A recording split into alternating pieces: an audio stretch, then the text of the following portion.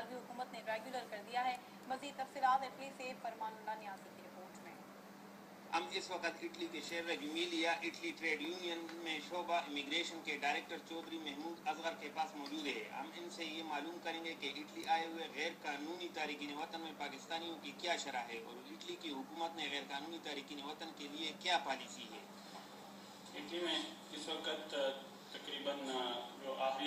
आखिरी रहे हैं पाँच लाख के करीब गैर मुल्की इलीगल गैर कानूनी तौर पर मुकीम है, जिनमें पाकिस्तानी की भी एक कसीर तादाद मौजूद थी। हाल ही में इटली गवर्नमेंट ने एक इमिग्रेशन कानून लीगलाइजेशन का कानून पास किया था, जिसमें तकरीबन ग्यारह हज़ार सात सौ अट्ठाईस पाकिस्तानियों ने इटली की इमिग्रेशन ली है और एक लाख चौंतीस हज़ार लोग लीगल हो गए हैं। लेकिन अभी भी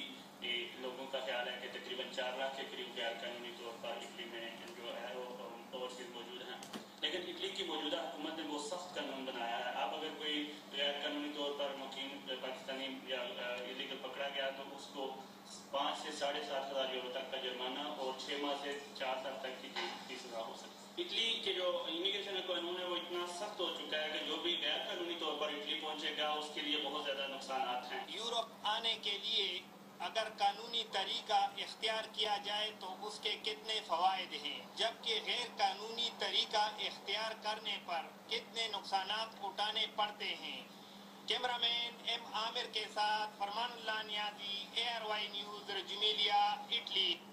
खबरों के सिलसिले को आगे बढ़ाते हैं बात करेंगे कराची की। कराची के इलाके मरीर में घरेलू तनाजे पर शोहर ने बीवी पर तेल छिड़क कर आग